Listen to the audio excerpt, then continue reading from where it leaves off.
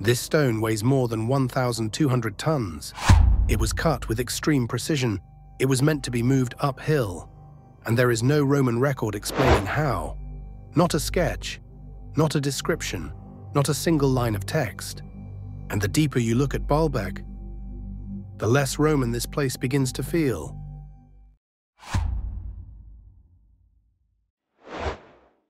The Baalbek stones are considered one of the enduring mysteries associated with the Roman age. Six enormous stone blocks lie in Lebanon's historic Bekaa Valley, home to the ancient city of Heliopolis, known today as Baalbek. The name Baal is commonly associated with meanings such as Lord, God, or Sun in Phoenician tradition. Atop the mound known as Tel Baalbek stands a Roman temple of Jupiter, built around 2,000 years ago resting on three colossal stone blocks, collectively known as the Trilithon, or Three Stones.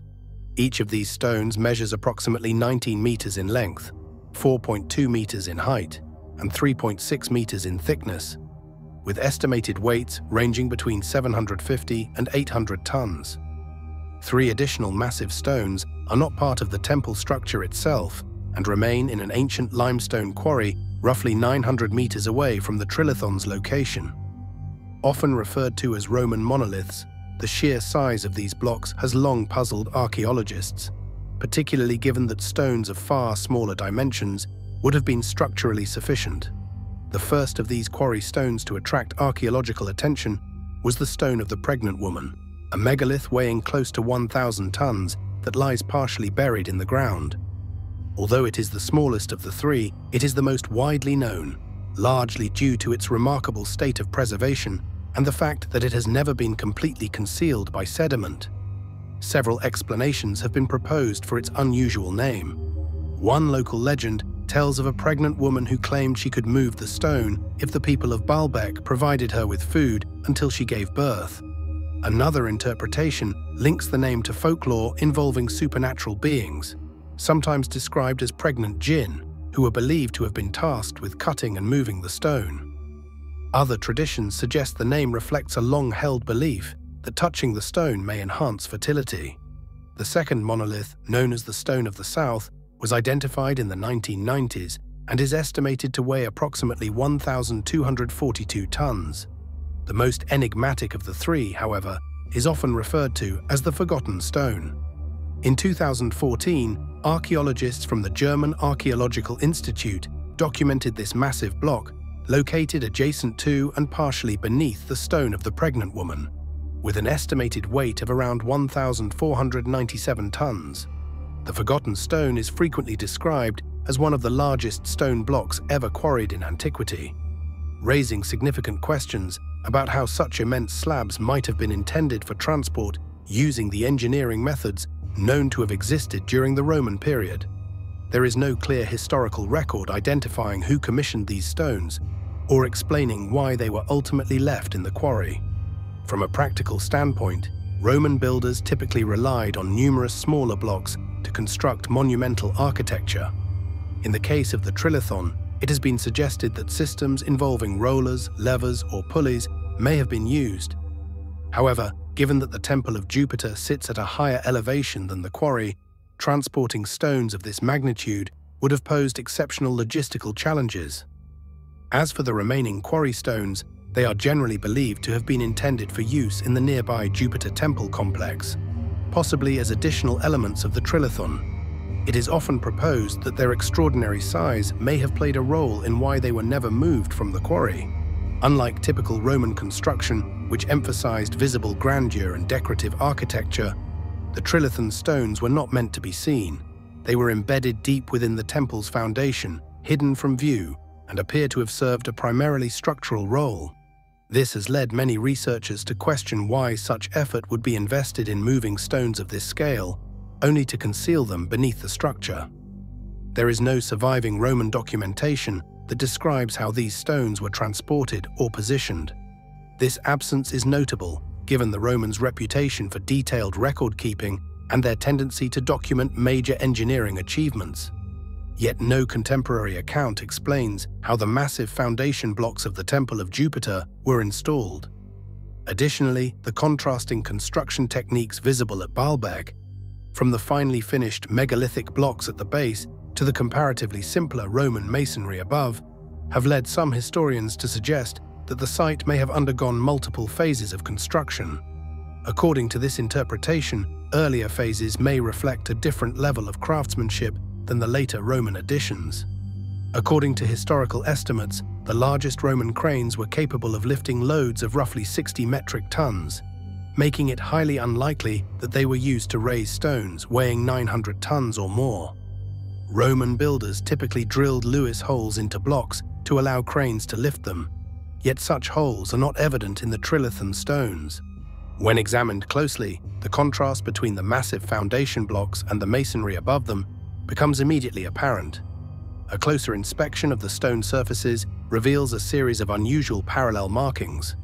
These markings appear on multiple megalithic blocks throughout the complex, including on the trilithon stones themselves. The grooves are approximately 3 meters or 10 feet in length and maintain a strikingly consistent parallel pattern. Such features do not easily align with what would be expected from conventional hand tool stoneworking methods and have prompted debate about how they were produced. Viewers familiar with similar archaeological sites may notice that these markings closely resemble those found at other large-scale megalithic locations, such as the Yangshan Quarry in China, where an enormous unfinished stone estimated to weigh over 16,000 tons remains in place. Researchers have noted visual similarities between the surface markings at Yangshan and those seen on the stones at Baalbek. Comparable marks have also been identified in Petra, in present-day Jordan, these markings appear in the oldest sections of the site, predating the Nabatean kingdom, which established Petra in the 4th century BC. In some areas, particularly near the edges of the stone blocks, the markings become even more unusual. These finer details are exceptionally small and precise, to the point that replicating them with rough tools would be extremely challenging. Even more striking are the edges of the blocks themselves. When examined closely, a thin continuous line can be observed along the boundary, where adjoining surfaces meet the bevel. This line measures less than a third of a millimeter in thickness. The method used to create such a precise feature remains unknown, and producing it with traditional tools would have required an extraordinary level of control. The edges of the blocks feature a multi-phase chamfer, identical in shape across adjacent stones. These facets appear to have been crafted with remarkable accuracy, with some sections showing signs of polishing. The precision of this workmanship is especially evident in a small notch where the stones meet, engineered to tolerances measured in fractions of a millimeter. And if these stones already appear to exceed what is typically attributed to Roman engineering, what remains in the quarry raises even deeper questions. Here's where things become even more intriguing. About half a mile from the main temple lies a quarry that appears to be the origin point of these massive blocks. Evidence suggests the stones there were not intended to be isolated examples. Abandoned for centuries, three unfinished monoliths remain in place, each rivaling or exceeding the size of the Trilithon stones. The first is the stone of the pregnant woman, weighing close to 1,000 tons. Nearby lies the stone of the south, identified in the 1990s and estimated to weigh around 1,200 tons. In 2014, archaeologists documented an even larger block, the Forgotten Stone, with an estimated weight of approximately 1,500 tons. Local legends surrounding these stones have persisted for generations. Each generation has attempted to rationalize what appears, at first glance, to be an extraordinary undertaking. Even modern engineers remain divided on how such stones could have been moved. One modern study proposed that transporting a 557-ton block across level ground could require more than 500 workers using advanced equipment. When factoring in an uphill route and the need to raise the stone approximately 23 feet into position, some estimates suggest the workforce required could number in the tens of thousands, potentially exceeding the population of many small cities. This leads to a fundamental question. Why would ancient builders choose stones of such immense size when smaller blocks would have served the same structural purpose? What motivated them to pursue a solution that appears to push the limits of feasibility, even by modern standards? The Baalbek megaliths do more than challenge conventional views of ancient engineering. They continue to provoke debate, raising new questions with every study and excavation. The question of who built Baalbek has fueled decades of discussion, competing theories and ongoing research. And as new evidence emerges, the picture becomes increasingly complex. So Baalbek leaves us with a problem, not a theory. The Romans were master builders, but they avoided stones like these. The quarry suggests the project failed, not succeeded. And the precision points to methods we still don't understand, which leaves only three possibilities. The Romans inherited this. They attempted something beyond their limits.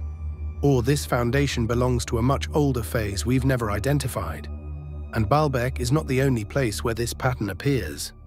The next site pushes this problem even further.